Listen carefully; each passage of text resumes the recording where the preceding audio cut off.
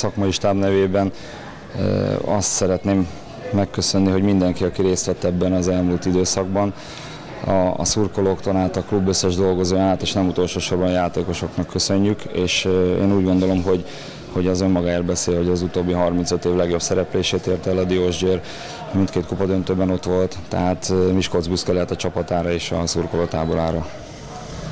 Rendkívül bátran cseréltek, Futás Márkó megszerezte a vezetést, utána még bejött Grumics is, így három e, igazi tank támadó volt egyszerre a pályán a Diósgyőri támadó oldalon, utána váltani is kellett, mert Kovács István becserélésével viszont a videóton támadójátéka lett veszélyesebb.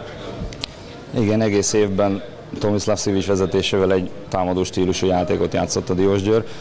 Ezt most sem szerettük volna a szakmai stábban megváltoztatni. Én úgy gondolom, hogy, hogy ez is a, a, egy, egy közös siker.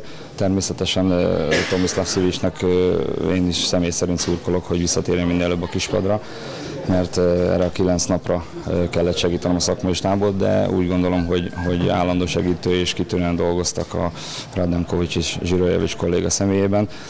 A másik pedig a játékosok abszolút profi mentalitásról tettek tanúbizonyságot, mert számunkra viszonylag tét nélkül volt a mérkőzés, bár egy Diósgyőri játékos sohasem mondhat ilyet, de úgy gondolom, hogy le a kalappal előttük és megtettek mindent. Ráadásul úgy gondolom, hogy stílusosan és szépen futballoztunk. Említettük, hogy 1978 óta nem végzett ennyire előkelő helyen a bajnokságban a csapat, nem beszélve a, a kupa döntőkről, és a nemzetközi kupában is megmutathatja magát a Miskolci alakulat. Még nem tudjuk, hogy Tomislav Szivics sorsa mi lesz, de nyilván olyan régóta vártak már erre a tényre, erre a pillanatra a Miskolci szurkolók is. Így van, és én hangsúlyoztam a kupa döntő után is, hogy mindkét szurkolótábor megérdemelte volna a győzelmet, és most is azt mondom, hogy nagyon, nagyon megérdemli a, a, Miskolc és Miskolc környéki közönség.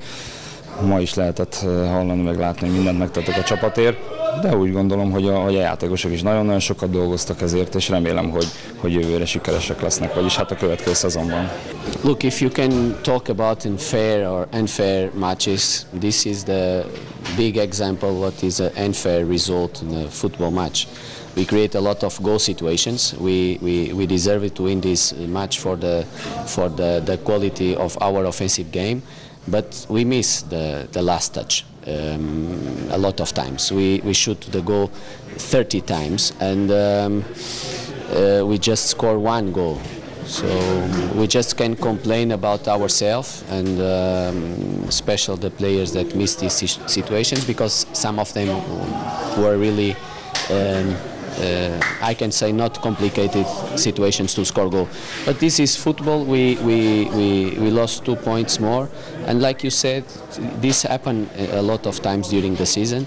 Um, and this is the, the, the, the, final, the final number of points that we could pick, uh, the points that we have now. Így van, gyakorlatilag azt lehet mondani, hogy a mai mérkőzésen valóban kitűnően támadott a csapat végig, viszont ugye mindössze egy gólt sikerült lőnünk, az összes többi helyzetünket kihagytuk. Igazából nem, haragud, nem haragudhatunk senkire, csak magunkra főleg ugye azok a, a játékosok, akik ezeket a, a helyzeteket kihagyták, és közülük jó pár olyan helyzet volt, ami nem volt túl bonyolult, mégsem sikerült őket értékesíteni. Ugyanakkor viszont a meccsel kapcsolatban el kell mondani, hogy van, amikor igazságos, van, amikor igazságtalan eredmény születik egy meccsen. Ez most egy nagyon jó példa volt a, az igazságtalan eredményre, hiszen rengeteg helyzetünk volt, mégsem sikerült nyernünk végig végig támadtunk, úgyhogy gyakorlatilag, a, a, ahogy te is mondtad, ez a mai mérkőzés, ez jól leképezte az egész szezont, hiszen ez nagyon sok mérkőzésünkre jellemző volt, hogy nem tudtuk a helyzeteinket kihasználni, holott nagyon sok volt.